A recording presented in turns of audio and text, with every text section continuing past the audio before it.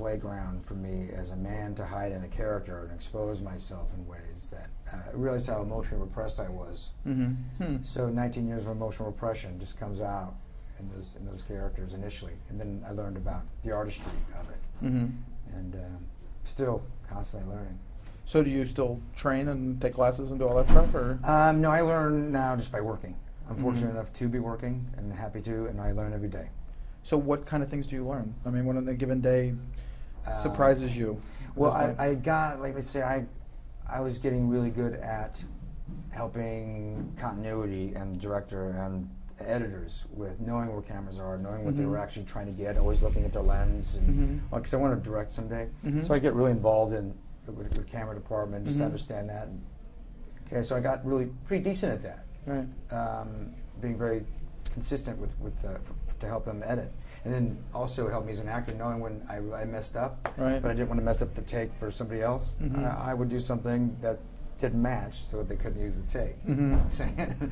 so, but then the Hurt Locker rolls around, you don't even see a camera. So I'm like, all right, perfect, just let that go. And it goes back to feeling like I'm on stage again where Yeah. I started.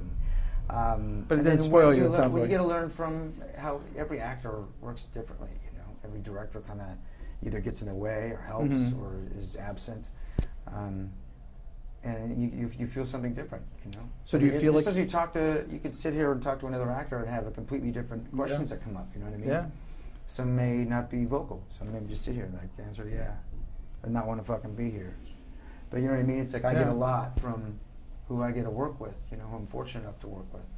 It's just amazing how different the approaches are, and you know, they're the actors who want to be handheld, and the directors who want, the actors who want to be kept left away, left alone. Yep, yep. You know, that's their idea of a good act, uh, director. Mm-hmm. It's a very different.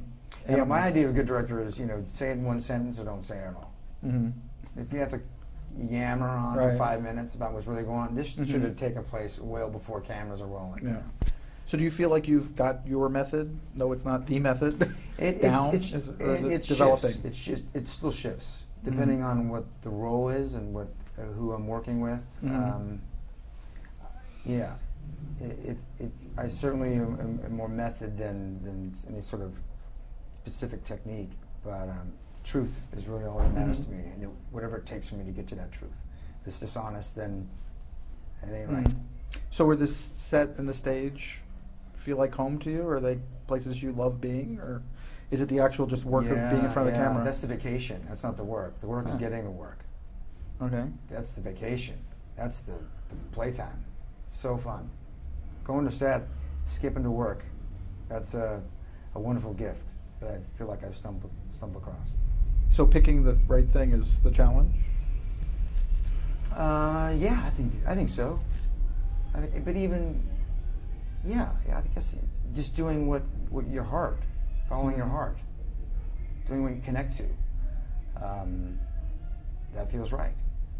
So have you had that experience on this movie from the beginning to the end? Or are you is it changing Uh, as you go along one, Hurt Down Locker? or Hurt Locker? yeah.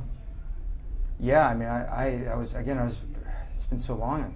Uh, two years ago, we finished it. A year prior to that, I was started. So like three, three and a half years ago, um, I started this working on this movie. Does it feel like another life at this point? like so long Um, ago? Some parts of it feel like a long time ago. Mhm. Some parts still have not left, and uh,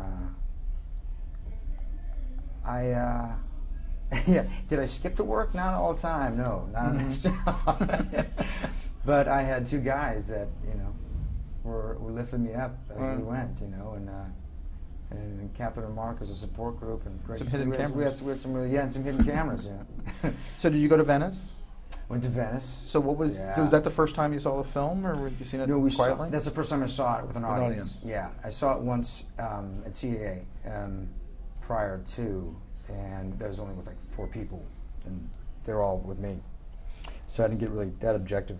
so at that point, are you looking at your own work only, or are you able to see the movie? Uh, I'm not able to see the movie honestly uh, completely. I, I, I still have a hard time Mhm. watching myself, and I'm in this quite a bit enough to be like, am I cringing anything? Okay, after I see it once or twice, I don't really have to look at myself. Then I start noticing when I saw it in Toronto with Right. a, uh, an English-speaking audience. It was a little strange watching it, Hmm. the Italian subtitles, the whole that was kind of. Right. But seeing with an English speaking audience, they were getting a lot of the jokes, Mm-hmm. and like, oh, cool, they're ah, they're laughing. That's fantastic because they released the tension. Like, Right. Ah, it's working. Awesome. Then listening to the sound design, Mm-hmm. amazing. The sound amazing. design. So that's all I hear every time now I come Mhm. to these things. It's a screening that's happening right now, and I'm going to come in at the end of this. These songs and be playing at the end credits, and it Right. makes me weep every time. Mm. Chills, boom, just brings me to uh, my knees, man. It's uh, so I, I look at all these things. I Mhm. look at all the. I mean, I remember being in the editing room and just being like, "How do you deal with Mm. 200 hours of footage, a million feet of Super Mhm. 16? How, how do you forget it?" So I really appreciate all those things, and that's what I really start noticing. So were you surprised when you, as you saw it coming together, you saw it a Yeah. few times? Yeah, absolutely. Different movie than you expected, or the same movie but with different stuff? Um, it, it was, yeah. It, not a different movie than I expected. I'm just surprised that it's it came together. Mm-hmm. You know, it's, it's, a, it's a big undertaking to do this little independent movie uh, in the Middle East with a very small budget. And, and the subject matter and everything. There's a thousand reasons why this Right. should have never been made. So then I see this kind of kind of come together. As soon as they started throwing just even the temp tracks and Mhm. sound, realizing, oh, especially in a film like this, it's, Right. it's really kind of uh, helps set the tone. And uh, it's amazing what uh, what she what she captured. That we did not know because we never Right. saw cameras. She had these four clamshells. She'd run around with her little wrap on, and that's good. It's good. It's cool. Let's. Let's do this now. I'm like, okay. It's like a I, I look at a few things, you know, Yeah. here and there, but that way, you get, a lot of time I like to watch playback and I get a good sense of like what the film's going to look like and watch Mhm. dailies and yeah. But Hurt Locker, I didn't really see hardly, but for maybe three minutes Hmm. of, of any daily or anything. So in the audience reaction at Toronto, which was massive, Yeah. does that affect you? Does that hit you? It's overwhelming. It's overwhelming. It's, Mhm. um, it's the closest thing to being back on stage, Hmm. to that interaction with an audience. Mhm. Um, normally, it's you walk on the street and it's like, oh hey, you're that guy in SWAT. Like, well, that was 2003. Yeah, Right. how you doing? well, I saw last night. I'm like, cool. Mhm. Ah, did- thanks. but this is like an immediate thing, being there, like tonight, with an, an audience there, and they and you get to sit and chat with them about it Mm-hmm. that um, I kind of like that now. I used to I used to kind of hate it, but for this is for this film, it's been so fun to talk about. To talk about SWAT wouldn't be interesting in the Q and A. You know what Right. I'm saying? Yeah. And we didn't do those. but for a movie like this that drudges up thought Mhm. and emotion, not what to think or what to feel, but Right. drudges those things up. And I love to hear what people think. They want to know the answers. They want me to give them the answers. They already know Mhm. the answers. You're Yeah. right. You know, I don't have to Yeah. tell you. I can tell you what I think, Mhm. but it doesn't matter. That's why I think this film succeeds. It's about what it feels. And Everybody invokes, feels. It invokes thought and feelings for people. That is a powerful thing to do, and that to me is what true cinema is. So when the journey is the best, it stays with you forever, and then sometimes you are done with a movie when it's not such a great movie necessarily. Um, yeah, if, if the experiences weren't, I mean, don't get me wrong, the experiences on the Hurt Locker were, were, were terrible. I have a lot of terrible memories of, of, of shooting the movie. Mm-hmm. and the, but now it is, is, is time for um, celebration. Um, a- year ago was really the time of celebration. Watching Mhm. the film actually, oh, we had the budget and we actually got it together. I can't, I Yeah. can't believe it. Well, That's is there a moment where you, you feel a sense of completion on a picture like this, where you go, "Okay, my work is done. I've got I've gotten what I can out of this." Is it while you're still finishing on the set? Is it seeing how the audience finally reacts to the film and the work, and or is it awards coming up? Or Oh no, no, yeah. When I'm done in the movie, I, I feel like I'm done.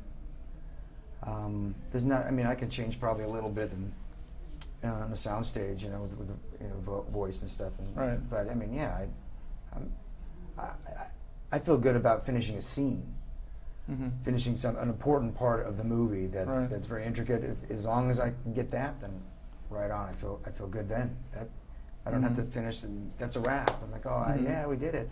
There's just certain days that I feel like, all right. Like on the town, for instance, Mhm. the movie I just shot. I was done.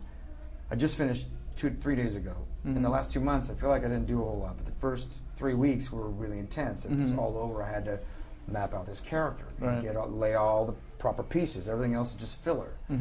So the last two months of nothing. I felt like I was already wrapped. Right.